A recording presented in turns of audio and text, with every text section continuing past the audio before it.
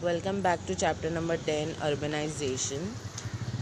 Now, we have seen the different, uh, you know, circumstances where the urbanizations has improved so much. People from the village area are coming to the urban area. Now, we'll see the effects of the urbanization.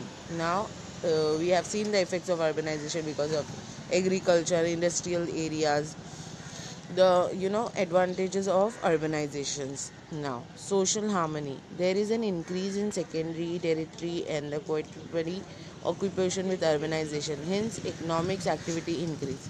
These areas grow rapidly. Culture and social customs and traditions are exchanged as people from different parts live together in the city. This creates social harmony. What is social harmony now? See uh, we live in a uh, city or we, we live in a city with different people. Some are you know not are from our religion some are different from our religion. Then come the modernization. In cities people from different areas migrate. Their wisdom skills knowledge and exchange easily. These are these areas are the first to get advantage of updated knowledge and literature. We can see new projects related to industries and business coming up here urban settlements get an advantage of new ideas, updated technique, technologies, and the technical facility. Therefore, as a result, the standard of living improved. Now, what happened? Modernization. Because of the migration, many people from the different states are living together in a one place. They are from. They follows the different culture. They have a different you know, uh, art, and you know they have a different their uh, means of interest and all so what happened? So what happened?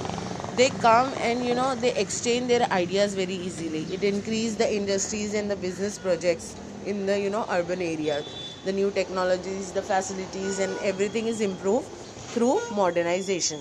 Now amenities and the facilities. Various amenities and the facilities developed in urban areas because of urbanization, transportations, communication, education, and medical facilities, speed bridges, etc., are very important. Because of good technological transportational facility, journey become easier. Its po- positive effects its seen on the freight transport, market, trade, etc. We see the even educational facility develops well in urban area. Many students come from urban areas especially to assist the service of higher education like Pune city. Medical facilities are so well developed in urban areas to avail these facilities many patients and their family members comes from the different part and stay for the short period. See because of the amenities and the facilities the facilities provided in the urbanizations are very rare in the village area.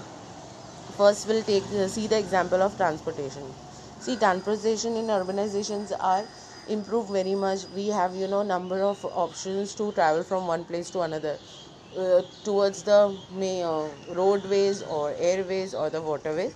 We have option. We can you know travel from one place to another because of the facility available for urbanization. Even we can do the trade. Even we can you know exchange the things from one place to another.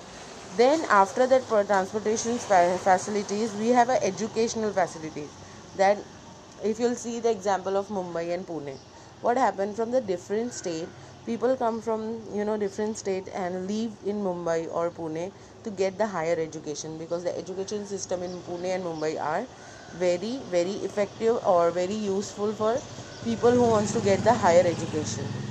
Now the medical medical facilities.